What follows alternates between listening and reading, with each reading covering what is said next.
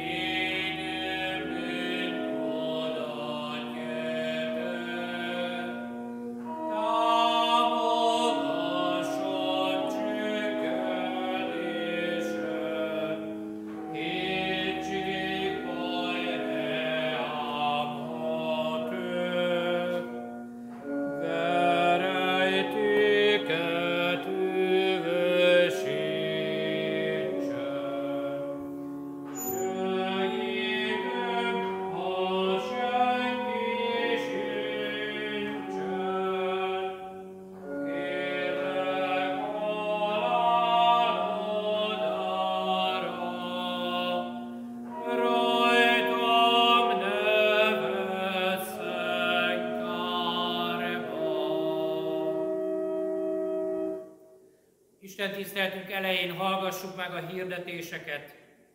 2020-ban az Urvacsora évét éljük. Minden alkalmat felhasználva próbáljuk megsejteni és megragadni a nagy titkot, Isten látható, ízlelhető szeretetét. A mai ünnepen ezt a mondatot vigyük magunkkal tarisznyánkban. Malom és présház, zúzda és sajtó, tápláló kenyér és serkentő bor születik-e helyeken melyek emlékeztetnek arra, hogy élet és megváltás termett a vesztőhelyen, a Golgotán. Ünnepi Isten tiszteleteinket feltámadás ünnepén is láthatják majd a testvérek az internet segítségével. Húsvét hajnalban egy meditációs alkalmat fogunk feltölteni az internetre. Kérem, hogy nézzék meg ezt is. Hallgassák imádkozzák együtt velünk húsvét hajnalát. Más alkalmat sajnos nem tudok hirdetni, hiszen a jelenlegi helyzet feloldásáig nyitott közösségi alkalmakat nem tudunk tartani. Minden személy jövedelemadót fizető állampolgár rendelkezhet adója kétszer egy százalékáról egyháza és valamely alapítvány javára. A Magyarországi Evangélikus Egyház és valamely egyházi alapítvány is kéri és várja az adózók adójának kétszer egy százalékát. Kérem, hogy vegyük nagyon komolyan, amit a szakemberek mondanak, és aki csak teheti, maradjon otthon ezekben a napokban. Tudom, hogy a jó idő, a napsütés csábító, de a járvány csak úgy tudjuk lassítani, ha az egymás közti fizikai kontaktust minimálisra csökkentjük ezzel óvva mindazok lelki és testi épségét, akik nem tehetik meg, hogy otthon maradjanak. Kérem, hallgassunk a szóra, maradj otthon. az Atya, Fiú, Szentélek nevében. Amen. Most imádkozzunk. Dicsérünk Téged, Úr Jézus Krisztus, hogy halálig teljesítetted Atyád akaratát, és minden elvégeztél a mi üdvösségünkre. Szüntelenül emlékeztes minket keresztedre és több koronádra, hogy szüntelenül áldjunk téged hűségedért és szeretetedért. Amen. Testvéreim, az Úrban az egész kereszténységgel valljuk, hogy Jézus Krisztus értünk szenvedett és halt meg. Mit jelentett ez a valóságban? Mit kellett neki szenvednie? Ezt akkor értjük meg, ha elolvassuk, mit írnak róla azok, akik Jézus szenvedésének szem és fültanúitól hallották. Hallgassuk meg tehát Jézus szenvedés történetét, hogy megteljék a szívünk bűnbánattal és mélységes hálával Jézus végtelen szeretetéért.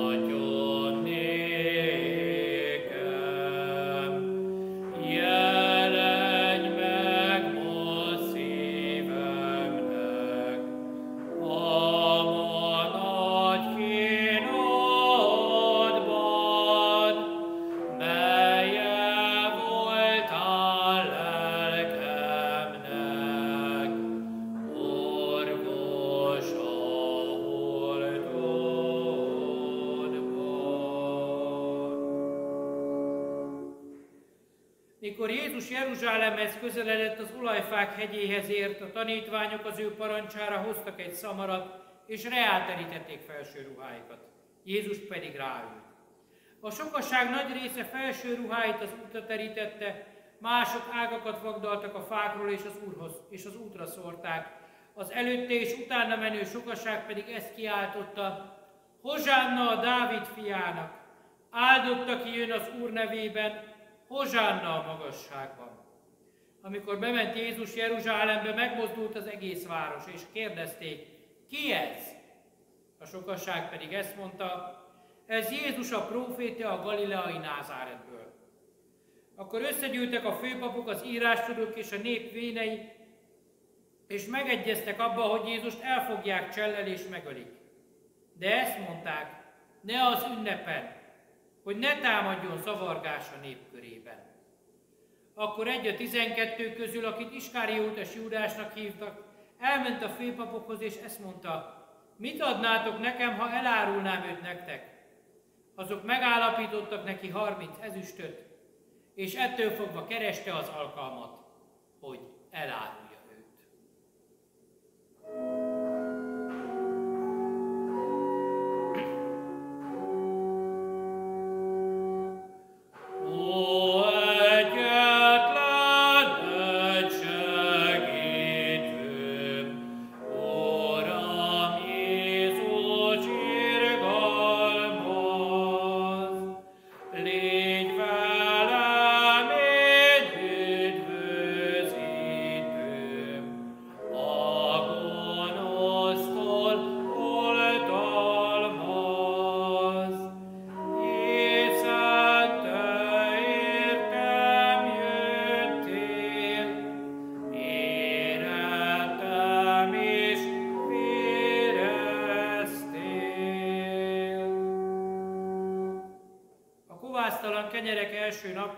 amikor este lett, asztalhoz telepedett Jézus a tizenkét tanítványjal, és miközben ettek, így szólt.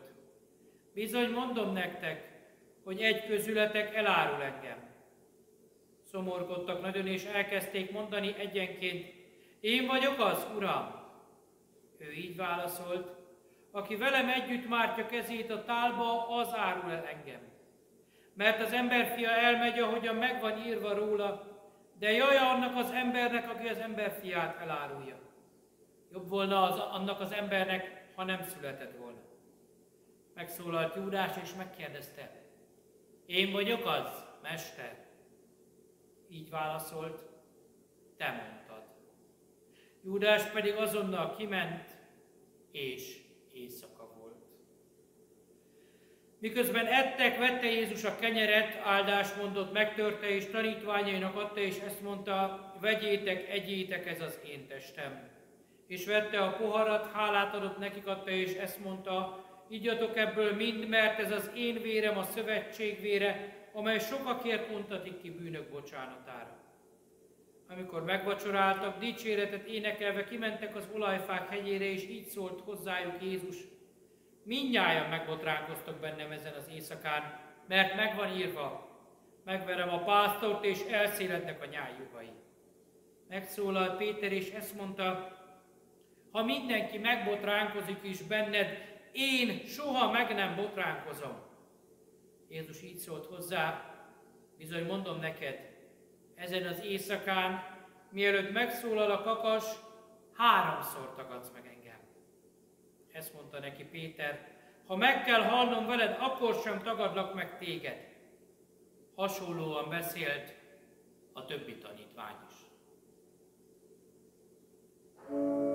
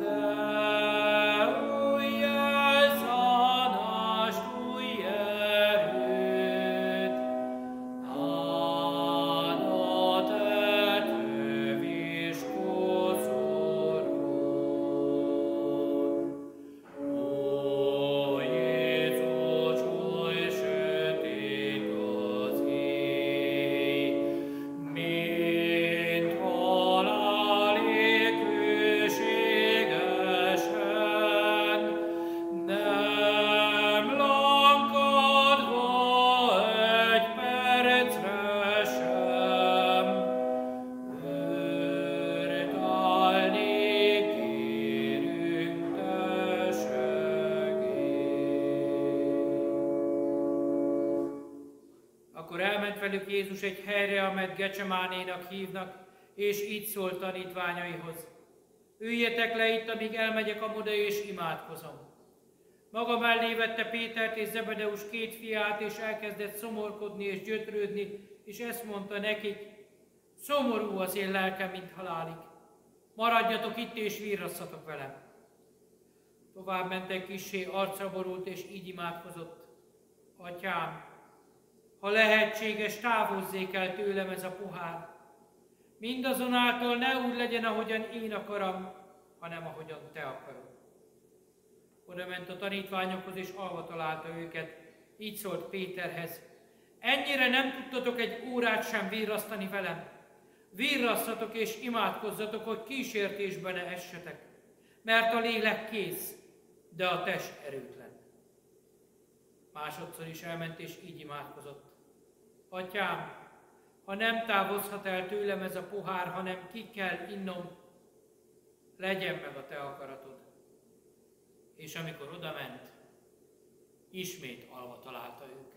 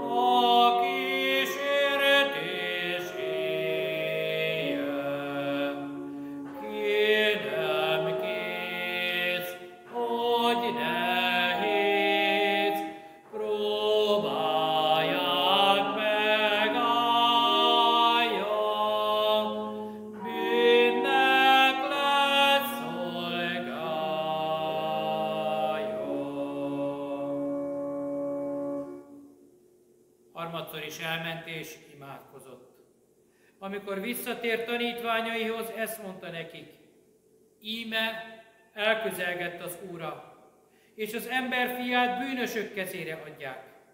Keljetek fel, menjünk. Íme elközelgett, aki elárul.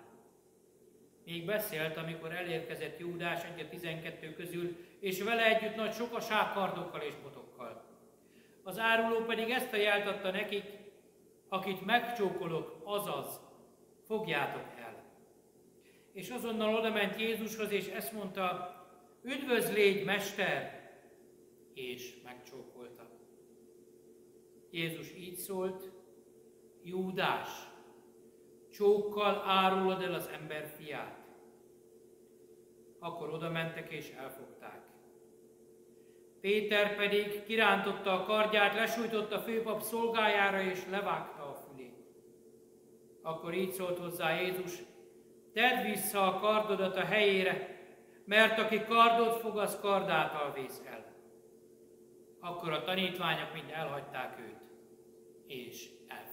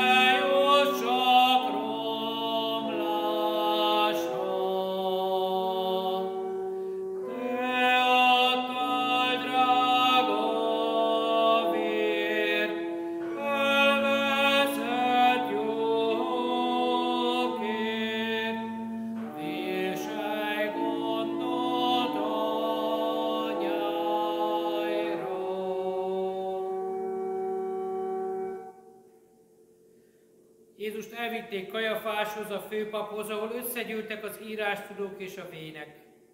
Péter követte őt távolról egészen a főpap udvaráig, és bement, ott ült a szolgákkal, hogy lássa, mi lesz a vége.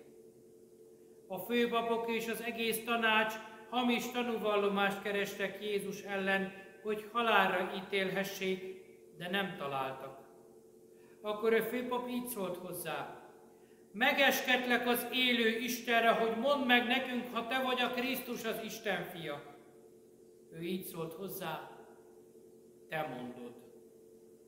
Viszont mondom nektek, mostantól fogva meglátjátok az emberfiát ülni Isten hatalmának jobbján, és eljönni az ég felhőjén.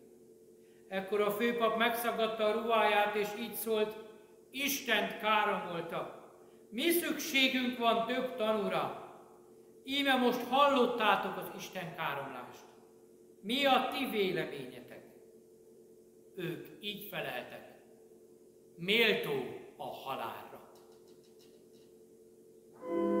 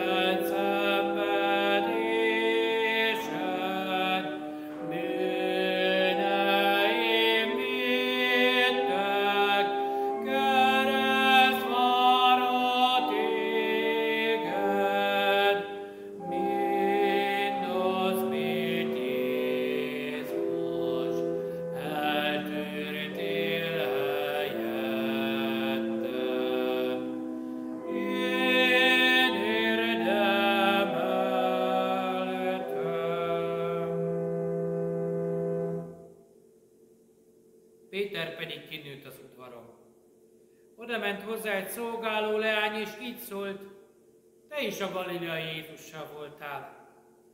Ő azonban tagadta mindenki előtt, és ezt mondta, nem tudom, mit beszélsz. Kiment a kapuba, meglátta őt egy másik szolgáló leány, és ezt mondta az ott levőknek, ez is a názáreti Jézussal volt. Ismét tagadta esküvel, nem ismerem azt az embert. Kis idő múlva oda mentek az ott áldogálók, és ezt mondták Péternek, bizony közülük való vagy te is, mert a beszéded is elárul téged. Akkor elkezdett átkozódni és esküdözni, nem ismerem azt az embert. És azonnal megszólalt a kakas. Megfordult az Úr, rátekintett Péterre, és ő kiment, és keservesen sírt. megkötözték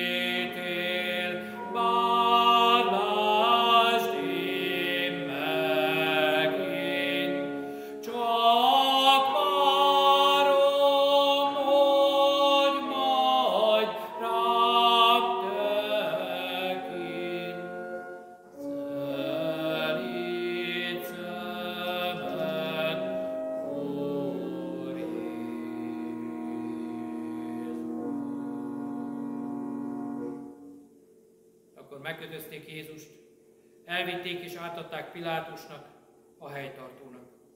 Jézus pedig állt a helytartó előtt. Ezt kérdezte tőle a helytartó, te vagy a zsidók királya? Jézus ezt felelte, te mondod. Miközben vádolták a főpapok és a vének nem felelt semmit sem, úgyhogy a helytartó nagyon elcsodálkozott.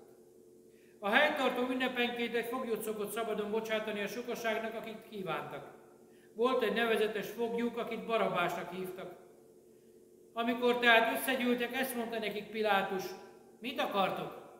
Melyiket bocsássam szabadon nektek, Barabást vagy Jézust? Azok pedig így kiáltottak, Barabást!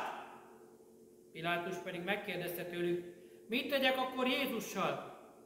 Így szóltak mind, feszíts meg!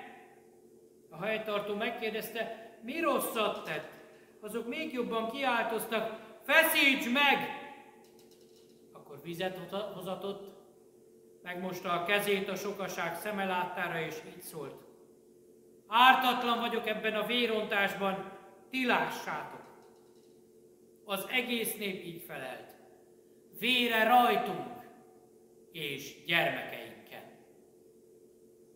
thank you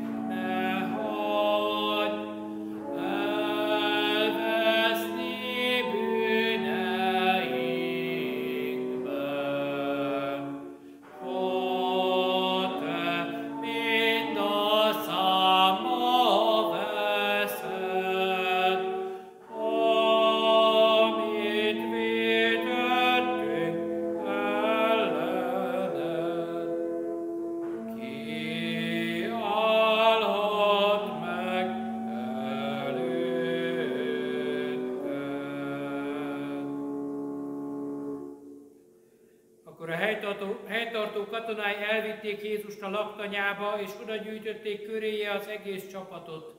Levetkőztették, bíborköpenyt adtak rá, tövisből koszorút fontak a fejére tették, nátszálat adtak a kezébe. Térdre borultak előtte, gúnyolták és ezt mondták. Üdvözlégy, zsidók királya! Aztán ráköptek, fogták a nátszálat, és a fejéhez verték. Thank you.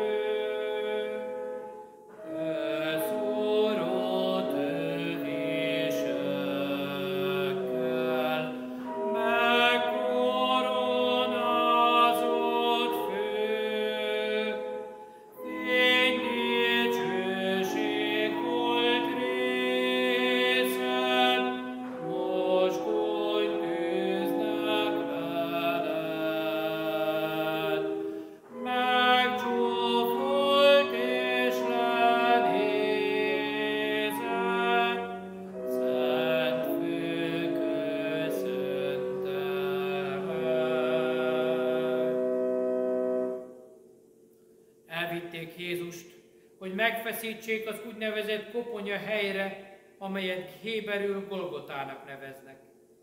Megfeszítették őt és vele együtt két gonosztevőt, az egyiket jobbról, a másikat balról. Jézus pedig így imádkozott. Atyám, bocsáss meg nekik, mert nem tudják, mit tesznek. Elosztották ruháit és sorsot vetettek rá. Az ítélet okát is felírták, a názáreti Jézus a zsidók királya. Akik arra jártak, csúfolták őt. Hasonlóképpen a főpapok és az írástudók is ezt mondták, másokat megmentett, magát nem tudja megmenteni. A megfeszített gonosztevők közül is az egyik szidalmazta őt, ugye te vagy a Krisztus, mentsd meg magadat és minket is. Megszólalt a másik, és ezt mondta, te az Isten sem féled, hiszen te ugyanazon ítélet alatt vagy, és mi méltán. De semmi rosszat nem tett. Ezt is mondta Jézus, emlékezz meg rólam, amikor bemégy országodba.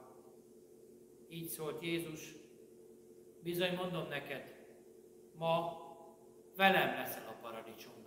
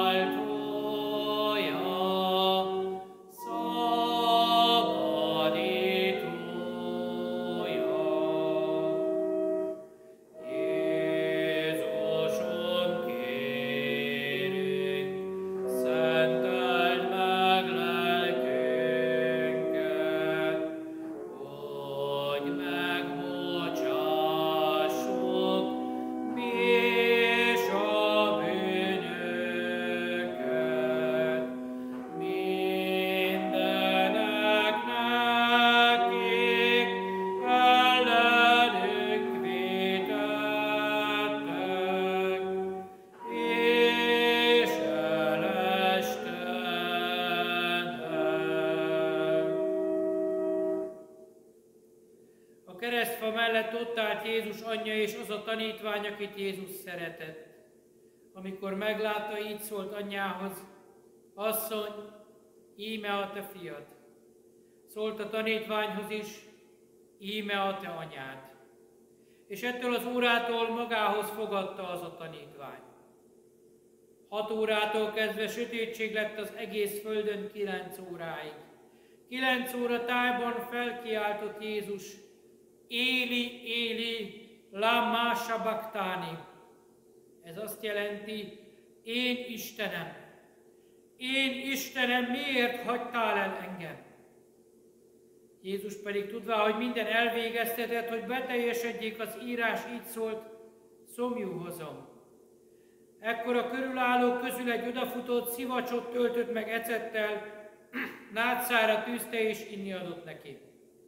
Amikor Jézus elfogadta az ecetet, ezt mondta, elvégeztetett. És hangos szóval felkiáltott, Atyám, kezedbe teszem lelkemet. És lehajtotta a fejét, és kilehelte a lelkét.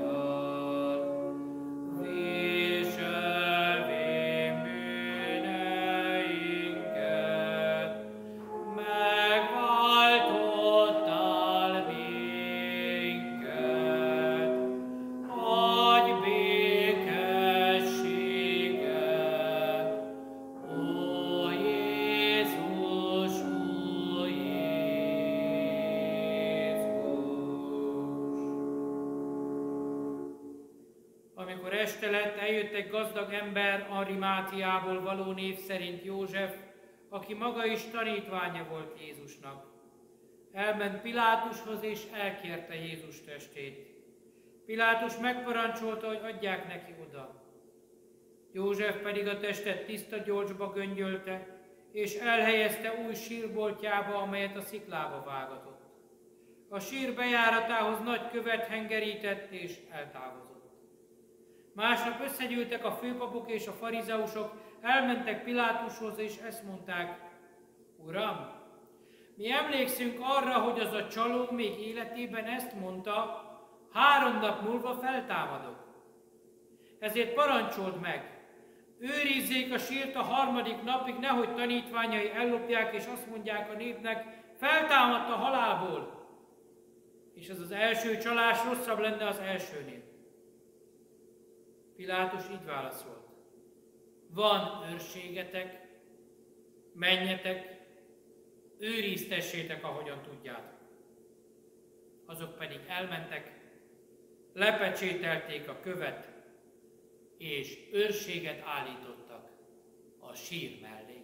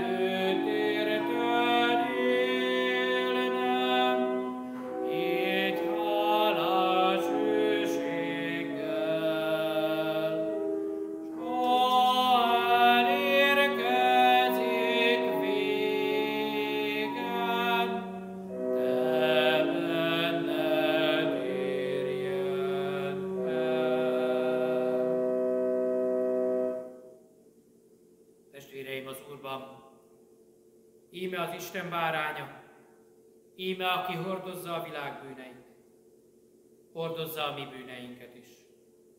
Ahogyan az írás mondja, ő a mi betegségeinket hordozta, a mi bűneinkért sebesítetett meg, és a mi védkeink büntetését vette magára, hogy békességünk legyen. Bizony méltó a megöletett bárány, hogy ővé legyen az erő és a bölcsesség, a hatalom, a tisztelet és a dicsőség, most és mindörökkön örökké. Ámen. Imádkozzunk. Jézus Krisztus Isten fia, szegény lettél értünk, és mindenben megkísértettél hozzánk hasonlóan. Megízlelted a kínos halált és az Istentől elhagyatottság mélységes nyomorúságát. Engedelmes voltál mint halálig, mégpedig a kereszt halálig. Isten báránya, aki hordozod a világ bűnét, irgalmaz nekünk. Mi bűnös emberek kérünk téged, szent és igaz Úr Jézus, szabadíts meg szenvedésed erejével minden bűntől, gyűlölettől és irítségtől, önzéstől és keményszívűségtől, gőktől és szeretetlen ítélkezéstől. Add, hogy igaz tanítványaidként kövessünk téged, szeliden és alázatosan. A bűn elleni harcban, a kísértés órájában, és a végső ínségben segíts meg minket, Úr Jézus Krisztus. Gyűjtsd össze Isten gyermekeit a kereszt alatt, keresd meg az elveszettet, menj elébe a keresőnek. Segíts, hogy megbocsássunk egymásnak, és egyek legyünk szeretetben. Úr Jézus Krisztus, add a békességedet. Amen. Mi, Atyánk, aki a mennyekben vagy, szenteltessék meg a Te neved, jöjjön el a Te országod, legyen meg a Te akaratod, amint a mennyben, úgy a földön is. Minden napi kenyerünket add meg nekünk ma, és bocsáss meg védkeinket, miképpen mi is megbocsátunk az ellenünk védkezőknek. És ne vigy minket kísértésbe, de szabadíts meg a gonosztól, mert tiéd az ország, a hatalom és a dicsőség mindörökké. Amen. Istennek népe, az Úr áldjon meg és őrizzen meg téged. Az Úr világosítsa meg az ő orcáját te rajtad, és könyörüljön rajtad. Az Úr fordítsa az ő orcáját te felé, és adjon te néked békességet. thank you